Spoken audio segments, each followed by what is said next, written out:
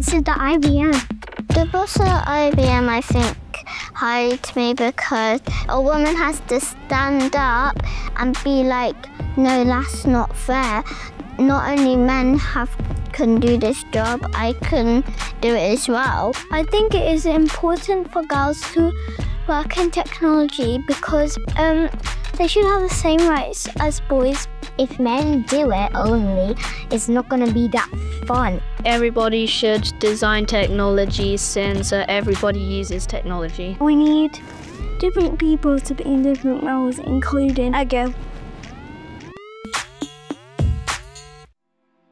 How do you feel right now that you can't press the buttons of a camera? I became disabled 10 years ago, and since then I've learned to take photos in a bit of a different way. What would you like us to make? My fingers and wrists are completely paralyzed, so I would like to have a robot that can hold my camera and then I will feel more independent. Watch what happens when girls get to mold a robot.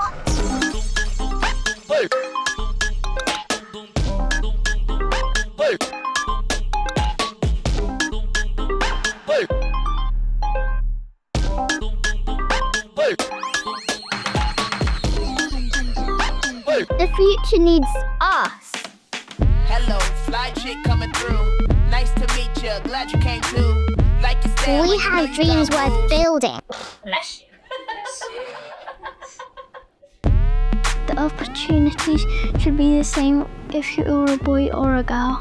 If men only done everything, the girls might think, why are we not doing this? There isn't enough women working in tech because there isn't enough role model they can look up to. It needs to be equal. Not too many women working there, not too many men working there. It should all be equal. Even if there's only men on that job, you can still just go through the interview and get hired.